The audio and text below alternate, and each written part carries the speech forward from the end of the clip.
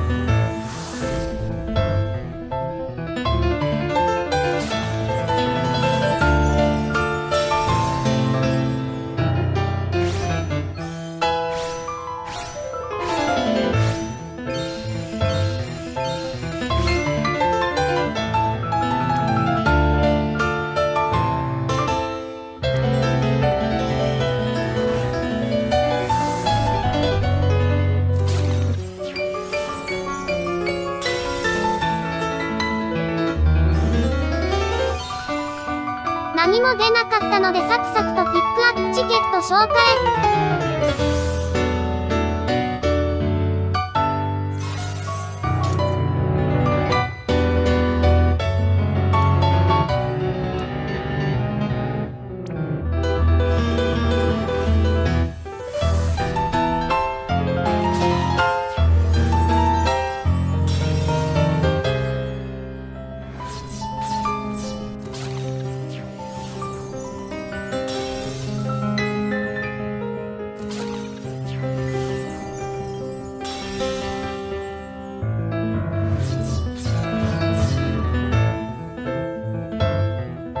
ログイン無料チケットで初めてピックアップしてくれました。ありがとうございます。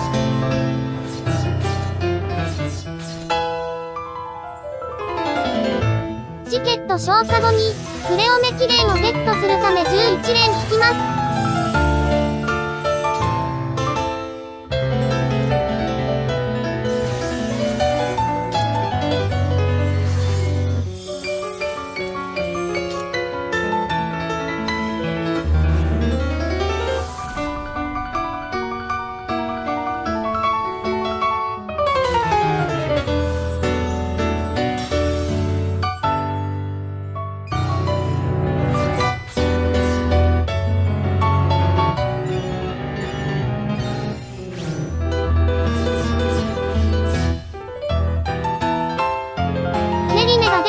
ました。ありがとうございます。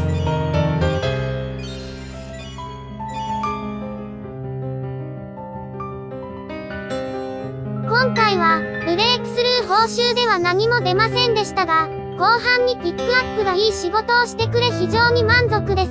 ご視聴ありがとうございました。